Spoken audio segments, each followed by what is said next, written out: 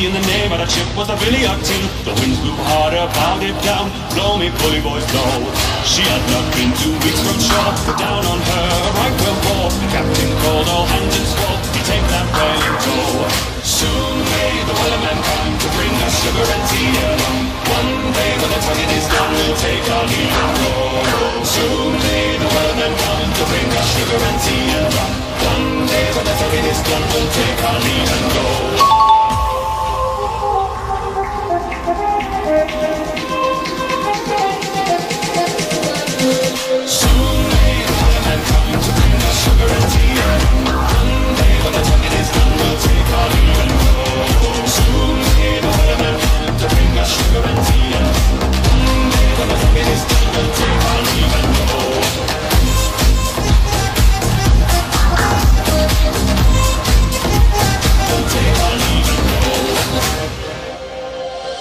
had not been to Oxford shore, but down on her I will.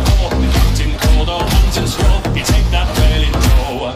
Before the boat had hit the water, the whale's came up and caught her hands to the side, on and caught her, she dived in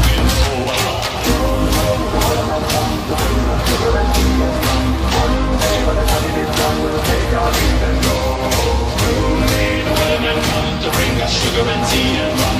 One day when the famine is done, we'll take.